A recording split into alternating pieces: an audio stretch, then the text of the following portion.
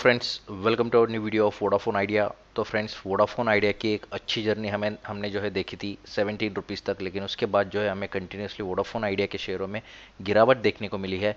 और मैंने बार बार बोला था, जब ये शेयर सेवेंटी रुपीज़ की प्राइस को टच किया था, कि यहाँ से आगे हमें जो है गिरावट देखने को मिलेगी। तो फ्रेंड्स सबसे इंपॉर्टेंट और पहला क्वेश्चन क्या ये शेयर ज़ीरो तक जा सकता है? तो उसका आंसर है फ्रेंड्स नो ये शेयर राइट ऑफ़ होना काफ़ी मुश्किल है क्योंकि गवर्नमेंट सपोर्ट करना चाहती है इस टेलीकॉम कंपनी को ताकि मार्केट में जो है डिओपोली ना चले और एक अच्छा हेल्दी कंपटीशन इंडियन मार्केट में टेलीकॉम सेक्टर्स की प्राइवेट कंपनीज़ में बना रहे। और उसी की वजह से गवर्नमेंट वोडाफोन आइडिया के जो शेयर्स है, उनको जो है इक्विटी के तौर पे रखी है खुद के पास ताकि जो एजीआर ड्यूज और बाकी जो चार्जेस वोडाफोन आइडिया को पे करने थे, जो कि near about sixteen thousand crore के थे वो उन्हें जो है इक्विटी के तौर पे कंसिडर किया है। लेकिन यहाँ पे वोडाफोन आइडिया फिर भी कुछ बहुत बड़ी चैलेंजेस फेस कर रहा है, क्योंकि 5G टेक्नोलॉजी में इस्टेब्लिश करने के लिए वोडाफोन आइडिया को काफ़ी ज़्यादा फंड की ज़रूरत है और उन फंड को जुटाने में वोडाफोन आइडिया थोड़ा सा डिले कर पा रही है।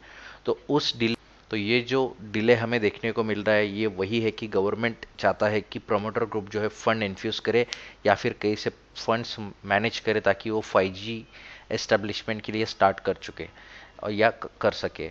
लेकिन एज ऑफ़ नाउ ऐसा कुछ साइन अभी तक नहीं आया है मार्केट में, कोई न्यूज़ भी ऐसा नहीं आया है। उसी की वजह से हमें मार्केट में जो है गिरावट देखने को मिल रही है।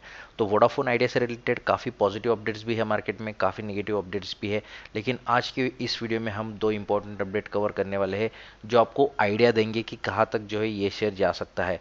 तो मेरा पर्सनल व्यू मेरा एनालिसिस ये कहता है कि ये शेयर जो है पिछले फाइव ईयर्स में इसका जो रिसेंट लो था, शायद इस प्राइस के आसपास हमें जाता हुआ दिख सकता है। मुझे ऐसा लगता है थ्री टू फोर रुपीज़ तक अगर ये शेयर गिरता है तो डेफिनेटली एक अच्छा बाइंग अपॉर्चुनिटी रहेगा लॉन्ग टर्म के लिए। क्योंकि अगर कैसे ना कैसे डिले भी हो जाए तो भी वोडाफोन आइडिया का मैनेजमेंट जो है वो चाहता है फंड जुटाना। अगर वो फंड जुटा पाते हैं तो डेफिनेटली तीन से चार रुपये के बीच में अगर ये शेयर मिलता है तो लॉन्ग टर्म में ये मल्टीबैगर बनेगा।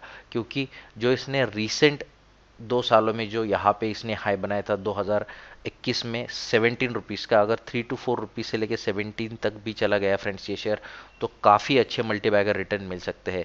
और जिनकी कैपेसिटी इसको लॉन्ग टर्म होल्ड करने की, उनको और भी अच्छे रिटर्न मिल सकते हैं। लेकिन हमें टाइम टू टाइम इसको मॉनिटर भी करना होगा। ये नहीं कि एक अच्छा रैली आया और हम वहाँ पे होप कर रहे कि इसी साल या अगले साल ये शेयर पचास, साठ, सत्तर तक चला जाएगा। ये होना पॉसिबल नहीं है फ्रेंड्स इसके लिए वोडाफोन आइडिया को काफ़ी अच्छे क्वार्टर ऑन क्वार्टर रिजल्ट्स देने पड़ेंगे। तो यहाँ पे जो पॉइंट्स है उनको कवर करते हैं। सबसे पहला पॉइंट फ्रेंड्स देखिए आप best Jio Airtel Vodafone Idea plans with 84 days validity in 2023 तो यहाँ पे जो है इन शॉर्ट मैं ये न्यूज़ आप लोगों को शेयर करता हूँ। यहाँ पे अलग अलग अपडेट्स है फ्रेंड्स जहाँ पे जियो ने किस तरीके के प्लान रखे हैं। तो जियो का जो 84 डेज़ का एक वैलिडिटी प्लान है, वो 666 का है। एयरटेल का अगर आप देखोगे प्लान जहाँ पे 1.5 जीबी डेटा जो कि सिमिलर टू जियो है, वो है seven hundred and nineteen rupees का, जो कि कॉस्टलियर है कंपेयर टू जियो यहीं पे अगर हम वोडाफोन आइडिया की बात भी करेंगे तो वहाँ पे भी उनका जो 1.5 जीबी डेली डेटा वाला प्लान है, वो 719 है। तो दोनों प्लान जो है जियो से काफ़ी कॉस्टली है, थोड़े परसेंटेज में। तो उसकी वजह से जो है कंज्यूमर्स का और कस्टमर्स का झुकाव जो होता है, काफ़ी ज़्यादा जियो की तरफ़ होता है। और इसी की वजह से एयरटेल और हम वोडाफोन की बात करेंगे तो कस्टमर्स को लूज कर रहे हैं। लेकिन दूसरा अपडेट जो है वो थोड़ा पॉजिटिव है। Vodafone Idea launches self K for new SIM connection here is everything you need to know तो यहाँ पे जो है वोडाफोन आइडिया ने जो नए कस्टमर ऑनबोर्ड करने की प्रोसेस है, उसको सीमलेस कर दिया है। उन्होंने क्या किया है? Vodafone Idea has launched a self K Y C know your customer process for users who want to new prepaid or postpaid sim. The new process is aimed to simplify the onboarding of new customers who were earlier required to visit the retail store, complete physical KYC process तो उसकी जगह पे अभी ये online हो जाएगा। तो अगर इस तरीके की और अच्छे और अच्छे बेनिफिशियल रिचार्ज प्लान कस्टमर्स के लिए लाता है Vodafone Idea in terms of 5G technologies में बोल रहा हूँ तो काफ़ी अच्छा रिस्पांस जो है कस्टमर्स की तरफ़ से वोडाफोन आइडिया को मिल सकता है और हमें फिर से ये जो शेयर है, इसके ऑल टाइम हाइस की तरफ़ भी बढ़ता हुआ दिख सकता है।